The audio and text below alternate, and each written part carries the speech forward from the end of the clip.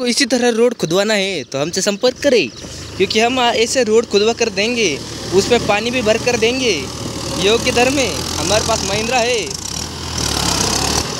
ऐसी घिनौनी हरकत सिर्फ़ महिंद्रा वाले कर सकते हैं, और कोई नहीं कर सकता, क्योंकि बाकी के ट्रैक्टर में दम में नहीं है, उसमें ताकत ही नहीं मिलती।